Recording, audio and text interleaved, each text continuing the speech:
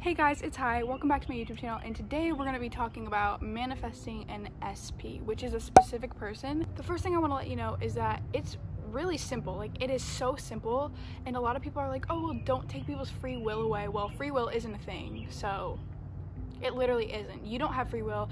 I don't have free will. You clicked on this video because I manifested that you clicked on this video. I didn't even take your free will away, you just don't have it because everyone is you pushed out, which I will get into later on in this video. But free will does not exist, so stop letting people have it. Literally take it back. Take it back. They don't do anything unless you decide they do it. So why are you letting them do that? Because obviously you're giving them free will if you have to click on this video to watch this, which is okay, I've been there. But stop giving it to them, take it back. The main thing you need to do to manifest a specific person is to live as if. And this that literally scared the crap out of me. Living as if means you're living as if you already have it. Um, a lot of people say live in the end, which is kind of similar, but personally, living as if is easier for me to do because it's all mental. Like you're living as if mentally.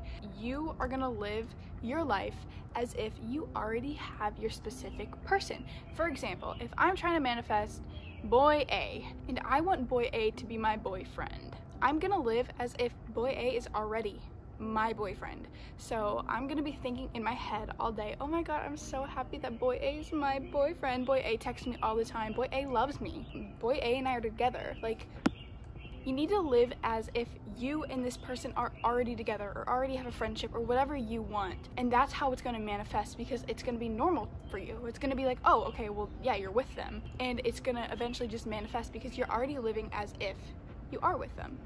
You have to make your affirmations and this thought of you being with them normal. That's why repeating affirmations is so important because once you repeat it so much, your subconscious takes it and it, it, believes it. Something I do that helps me manifest is pretend like I'm talking to my best friend Jenna. You can talk to your best friend, your mom, your sister, whoever you rant to, or you just tell all this like big stuff to. Like pretend like you're talking to them like have a conversation with them in your brain so for example this is what i would do i'd pretend like i picked up my phone to text jenna and be like oh my god like this person is non-stop texting me they love me so much they keep telling me how much they love me they keep telling me how much they want to hang out with me blah blah blah blah i'm gonna make it as normal as it can be because cats here I'm, I'm i'm all spooked today making it normal is making it manifest if you have a diary write in it like you i got my sp blank is in love with me. Like, do that. Do whatever is normal for you because whatever is normal is going to manifest. If affirmations don't feel normal or if affirmations don't feel great, switch them up. Use affirmations that seem normal to you in your thought patterns because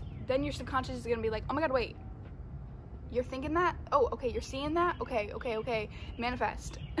in your affirmation, use words like always.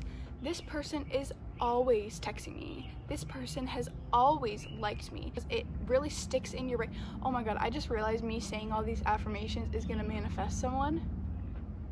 Anyways, saying words like always is going to imply that this has always happened, meaning it's always going to happen. They're very strong words and I really like using words like always and stuff. So sneak those into your affirmations and it, will help a lot, I promise. Now let's talk about everyone is you pushed out.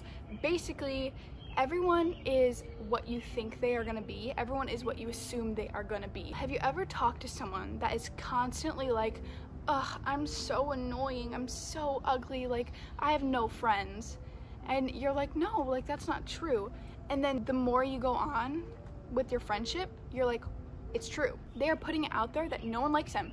They're ugly. No one wants to be their friend meaning it is manifest because everyone is them pushed out. So if they're gonna assume that everyone doesn't like them, they're ugly, blah, blah, blah, blah, blah, it's gonna be pushed out and everyone is gonna start feeling that way towards them, even if they didn't at the start. You could literally be in love with someone and if they start thinking bad and they're like, everyone in my life leaves me, you're gonna leave them. You're gonna get to a point where you leave them because that's how it works. And everyone is you pushed out. And everyone is the assumption you have of them. People are only gonna show up how you think they are going to show up. So start assuming that they're gonna show up exactly how you want them to. Why wouldn't you? If they're already gonna show up how you assume they're gonna show up, start assuming the exact way you want them to show up.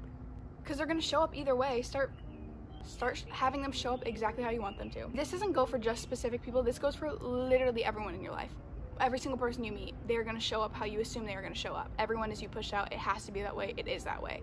So next time you start thinking that all your friends think you're annoying, stop stop because guess what? It's gonna manifest and all your friends are gonna think you're annoying. You can use everyone as you pushed out to eliminate a third party as well. A lot of people are always like, well, my SP is with someone right now. Like my SP is in a relationship, they're talking to someone, blah, blah, blah. Doesn't matter. Circumstances never matter. You can manifest anything you want. If you are desiring it, you can manifest it no matter what circumstances are around the manifestation. To eliminate a third party, you have to use affirmations like, my SP is only in love with me. My SP only likes me. I'm the only one that my SP wants to talk to. I'm the only one my SP likes. When you affirm things like that, it's going to eliminate everything that doesn't line up with that. If I'm saying I'm the only one my SP likes, everyone else that my SP likes is gonna go away. Because guess what? It's my reality and I'm affirming that and what I manifest comes true. Don't, for the love of God, don't say things like, my SP doesn't like that one person anymore. First of all, whatever you focus your energy on is going to show up. So whether you're trying to manifest it away or not, you're focusing on that person in the third party, which means they're gonna stick around and they're gonna show up. You have to literally ignore it. It's not there. It's not there. Not in your reality. Like, what? No, they don't exist here. They don't exist in your reality. You're just gonna affirm that your SP likes you and only you. Don't ever acknowledge the fact that there is a third party. There isn't.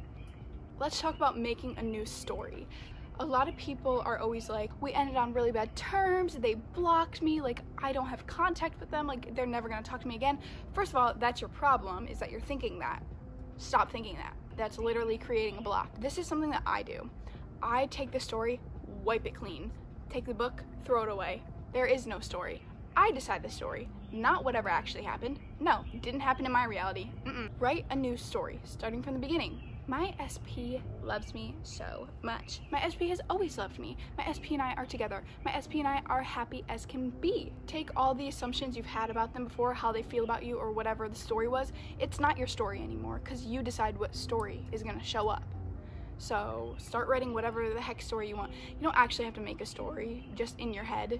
Assume that this is the story that's living out, you know? Because you get to decide what happens. So stop creating blocks, stop assuming that they don't like you, stop assuming that they aren't gonna text you, stop assuming that you're gonna be the only one texting first. No, you create what happens in your reality. This is your reality. You create it, no one else. Not them, not the third party, you. You also have to decide if you want to manifest little things or the whole thing at once. This means, do you want to start manifesting that they text you? Or do you want to literally jump into it and start manifesting that you're dating? You can work your way up or you can go all the way to the end goal. Either one works. It is completely a preference. It's completely up to you what you want, what you decide to do. Just know that if you're manifesting right and you're not creating any blocks and you're living as if, you're gonna get it no matter what. A huge factor of manifesting is self concept. Basically, self concept is how you view yourself, what you think you deserve, blah blah blah, yourself. You know, if you have a bad self concept, it's gonna kind of be hard to manifest. It's gonna be hard to manifest when you think you don't deserve it because you're gonna be like, mm, my SP's texting me, but why would they text me? Shut up, literally shut it right now if you think you don't deserve it, you're manifesting that. You're manifesting that you don't deserve it. So stop, literally stop. Start throwing in self concept affirmations like, I am a bad bee. I deserve everything I manifest. I deserve everything good in this world. Because you do. You literally do. You're a bad bee. You're perfect. You're amazing. And you deserve all the happiness in the world. And the last thing I want to add in here is that you have to be on a mental diet 24 7. Mental diet is constantly keeping your thoughts in check. And this is the most important part, in my opinion, to manifesting anything, not even a specific person. Because if you're constantly having negative thoughts and going against your affirmations, you're repeating the old story, the one that we threw away. So we stop repeating that. And every time you repeat the old story by thinking something negative, you're pulling that story back in and opening it up. Stop doing that. That, that story is done. That story is gone. That story has never happened. You have to purge your thoughts every second of the day. Every time you have a bad thought, completely switch it. I can't snap. Completely switch it around. For example, if I'm trying to manifest someone and I'm like, they haven't texted me all day. No, stop. Yes, they have. They texted me so many times today. They were the first person to text me in the morning. They're the first person to text me when I go to bed. Flip it around. It can be as easy as that because once you do that, it's going to start becoming like really natural and it's just going to start manifesting even quicker and you don't want to create unnecessary blocks because you're not on a mental diet so just keep your thoughts in check all the time you have to you have to keep your thoughts in check it seems hard it seems difficult it's not it's literally not you're thinking 24 7 so like you have time to repeat something positive after you say something negative you know? Like it's it's not that hard. I'm not saying that you have to be positive all the time but your thoughts do. So you can have negative emotions and still be affirming. I've done that so many times so that's basically how to manifest someone. If you want any more tips, comment them down below, or you can DM me on Instagram. Um, I get a lot of DMs, so it's kind of harder to reach me there, but I do answer most of the comments. I try to get to every single one, and I do try to answer my DMs. If you like this video, make sure to like, make sure to subscribe, um, comment on anything you want me to teach you guys about. If you have any ideas, comment them down below. I post spiritual videos every Saturday and fun videos every Wednesday. Um, I think next Saturday the spiritual video is going to be about shifting. So a lot of people have been asking me about quantum jumping, shifting realities and stuff like that. So ask any questions in the comments. I'll answer them in the video. But thank you guys so much for watching. Bye.